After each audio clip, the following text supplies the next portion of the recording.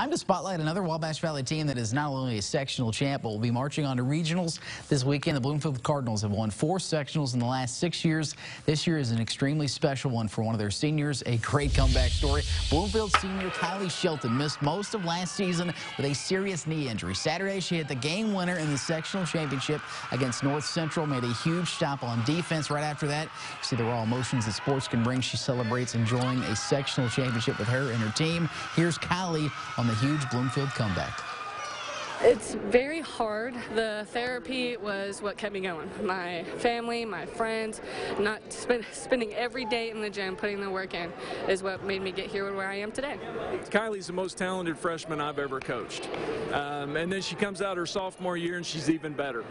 And she comes out her junior year and you think, okay, and she just starts she just starts excelling. And she's getting 30 point nights. And then she goes for over 40 and hits a game winning shot against North Central during the season.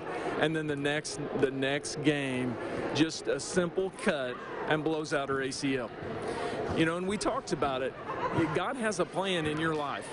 Just trust trust him he's going to work this out for good if you allow him to and Kylie said the downtime for her helped her focus. It, it helped her um, realize a lot of things that are important in life, not just basketball.